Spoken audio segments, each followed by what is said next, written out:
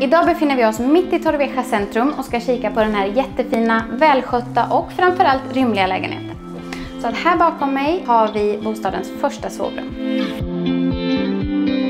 Och här vidare från hallen så har vi första badrummet. Och sedan kommer vi vidare till köket som ligger i anslutning till en tvättstuga.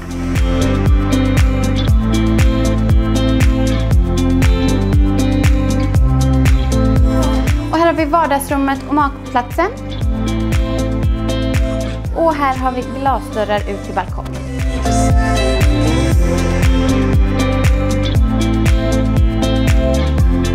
Här i andra ändan så har vi två sovrum och ett badrum.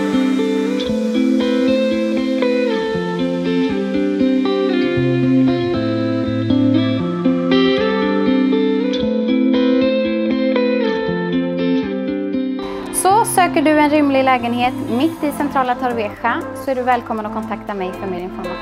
Välkommen hem!